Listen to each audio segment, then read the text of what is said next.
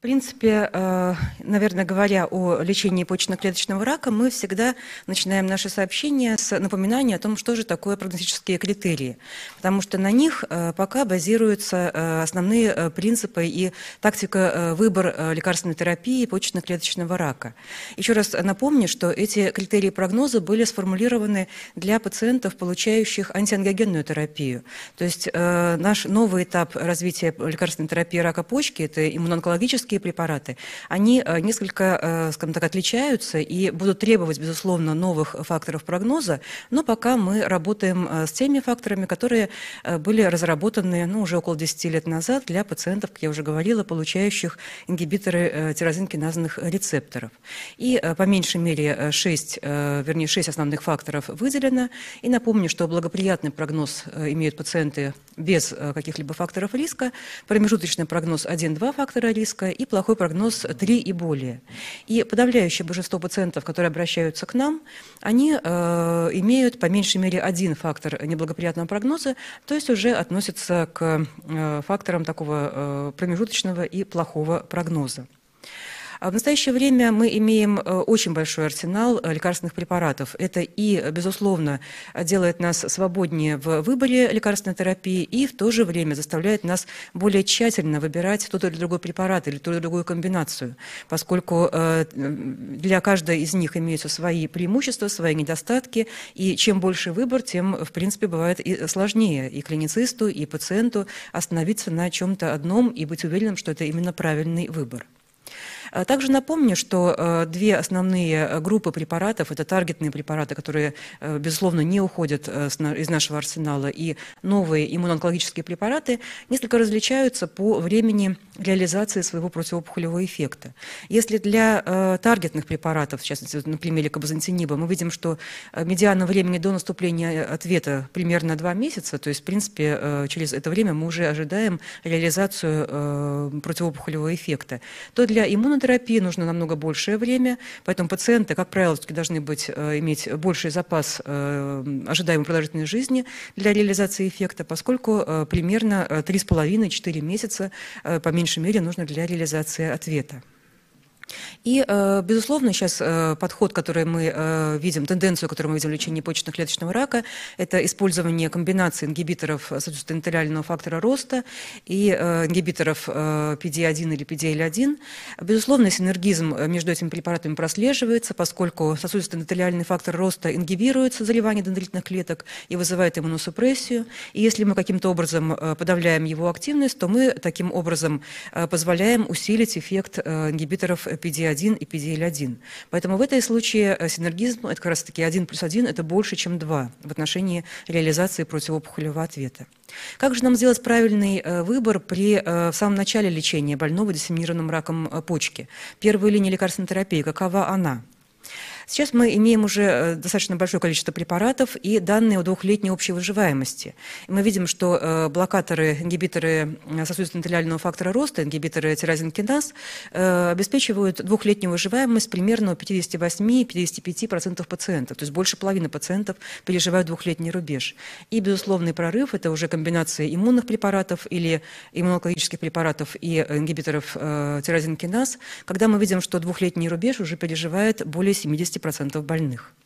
На чем же остановиться? Здесь э, как иллюстрация э, версия 2020 э, года. Сейчас уже разработана версия 1 для, 2000, для 2021 года о выборе лекарственной терапии первой линии. И мы видим, что те принципы, которые уже ну, на протяжении прошлого года были, они сохраняются. Для пациентов с благоприятным факторами прогноза можно выбирать и комбинацию окситиниба и пембролизумаба, и стандартные наши ингибиторы тирозинкиназных рецепторов, позапанип и сунитинип. Для больных э, плохого и промежуточного прогноза остается опция окситиниба и пембролизумаба и э, стандартная комбинация пилюмаба и неволумаба. Это все препараты категории 1. Ну, напомню, э, что в этом году э, на АСКО представлены результаты уже, э, скажем так, четырехлетнего наблюдения за пациентами, получавшими комбинацию неволумаба и ипилюмаба. И мы видим, что и частота объективных ответов, достигающая 40%, и медиана общей выживаемости, пока еще не достигнутая через 3,5 года от наблюдения, для комбинации неволумаба и ипилюмаба она имеется, прослеживается и подтверждает эффективность данной комбинации информации. А, Причем а, тенденция к преимуществу неволумаба и пилюмаба она отмечается даже в пациентов, имеющих а, наихудшие прогностические признаки. Это таргетные очаги, имеющиеся в почках, да, или в пораженной почке, в контралатеральной почке. Мы видим, что и здесь комбинация иммунных препаратов обеспечивает преимущество в отношении сунитиниба. Ну, а наибольший выигрыш, это, конечно же, демонстрируют пациенты в общей популяции за счет группы промежуточного и плохого прогноза. Здесь медиана общей выживаемости для больных, э, получающих э, комбинацию препаратов неволумаба и пилюмаба достигает 48 месяцев. Для сумитиниба она практически э, в два раза меньше. И э, длительность объективного ответа также э, для э, пациентов, э, получающих комбинацию, она выше. Для э, некоторых э, групп она не, даже не достигнута, но э, по меньшей мере э, при периоде наблюдения э, на протяжении 4 лет все пациенты, э, кроме группы благоприятного прогноза, имеют безусловное преимущество при назначении комбинации иммунных препаратов. Поэтому если мы проследим э, э, историю пациентов, получавших цитокина, ингибиторы циррозинкиназ, имеющих промежуточный промежуточный плохой прогноз, то, безусловно, комбинация иммунных препаратов, она имеет э, преимущество 48 месяцев э, медиана общей выживаемости. А комбинация пембролизумаба окситиниба, это стандартная зарегистрированная комбинация, также э, преимущество в отношении общей выживаемости, выживаемости без э, прогрессирования, э, причем во всех группах прогноза, и в хороших, и промежуточной, и плохого прогноза. Выраженное преимущество в частоте объективных ответов, до 60% больных имеют полные частичные регрессы, причем действительно разница преимущества в достижении полных регрессов, которые экстраполируются в выживаемость пациентов, она, безусловно, практически практически в три раза выше, чем в группе больных, получающих сумитинип. И, как мы уже говорили, наибольшие э, выигрыши имеют пациенты э, с благоприятным прогнозом. У них э, частота полных ответов достигает 11%. И э, если мы говорим о, о том, что же выбрать э, у больных, э, имеющих промежуточный плохой прогноз, то вот кривые, которые представлены в этом году, кривые э, выживаемости больных, получающих комбинацию иммунных препаратов или комбинацию оксиниба пембролизумаба, они, э, мы видим, рано расходятся, и примерно э, ну, выход на плато, наверное, прослеживается у э, обеих комбинаций. То же самое в отношении выживаемости без прогрессирования. Также мы видим безусловный выход на плато в комбинации иммунных препаратов и тенденцию к выходу на плато для комбинации окситиниба и пембролизумаба. Комбинация веломабокстениба, тот же самый принцип, это ингибиторы PDL1 и э, тирозинкиназный ингибитор. Э, цель исследования увеличения выживаемости без прогрессирования достигнута при комбинации, но общая выживаемость, она закономерно э, сопоставима. Поэтому для первой линии терапии много вариантов, как лучше, вы, что лучше выбрать, мы э, должны э, многократно об этом задуматься, но, как правило, пациенты с плохим прогнозом, без аутоиммунных заболеваний, имеющих противопоказания к ингибиторам э, сосудистой артериального фактора роста, им все-таки имеет смысл назначать комбинацию ниволумаба и пилюмаба. Для больных благоприятного прогноза э, с необходимостью быстрого наступления эффекта комбинацию пембролизумаба и окситиниба. Много исследований, э, тоже мы будем об этом говорить, э, несколько в других, в других уже сообщениях, проходит и сейчас. Комбинация иммунных препаратов ингибиторов TKI, тирозинкиназных ингибиторов, они активно изучаются.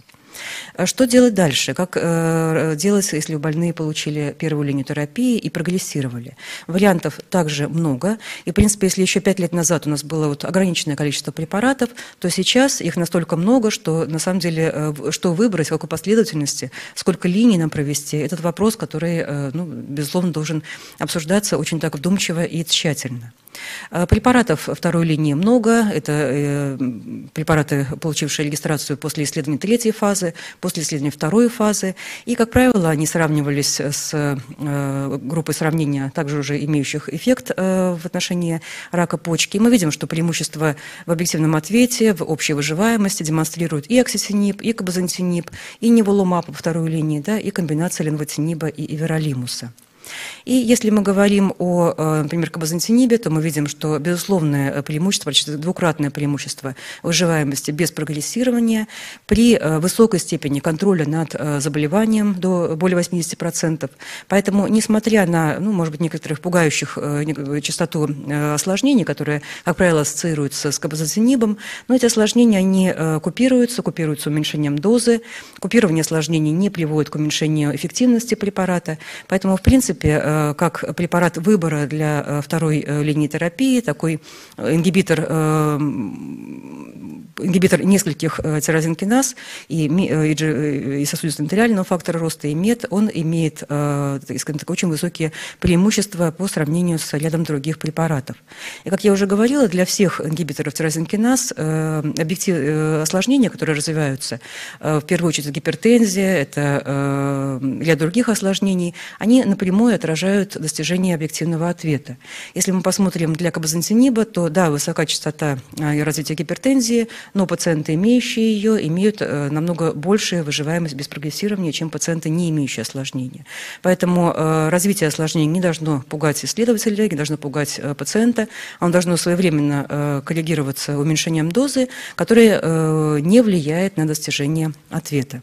Причем э, очень важно, чтобы не только клинические исследования, но и рутинная клиническая практика э, подтверждала эффективность препарата. И мы видим на примере кабазантиниба, что и объективные ответы, их частота, и выживаемость без прогрессирования, и длительность сохранения эффекта, и медиана общей выживаемости, они э, в рутинной практике не уступают данным, полученным при регистрационном исследовании. Ну и при таком непрямом сравнении препаратов второй линии мы видим, что кабазантинип э, в отношении выживаемости без прогрессирования имеет ряд преимуществ. Э, в принципе, длительная выживаемость более 7,5 э, месяцев – это безусловное преимущество препарата. Поэтому его можно использовать в качестве препарата второй линии достаточно такой уверенностью. Другие препараты – это и комбинация ленвотиниба, пембролизумаба, и возможность повторного использования иммунных препаратов. Это все опции, которые могут быть реализованы во второй и последующих линиях. И подводя итог, что мы можем сказать, что если в первой линии мы использовали стандартную монотерапию ингибиторами тирозинкиназ, если контроль над заболеванием продолжался больше года, то, безусловно, имеет смысл использовать также э, монотерапию ингибиторами тирозинкиназ, переходя на кабазантинип или окситинип. Если контроль заболеванием менее одного года или эффекта вообще не было, то мы э, переходим на уже методы иммунотерапии. Это неволумаб, стандарт второй линии терапии, или, возможно, комбинация, например, эпилюмаба и неволумаба, экстраполируя его, э, эту комбинацию из первой линии на последующие. Или комбинация, например, акстениба пембролизумаба. Тоже, в принципе, препараты первой линии, но их э, по аналогии с данным об эффективности комбинации ленвотиниба и пембролизумаба возможно использовать и во второй линии.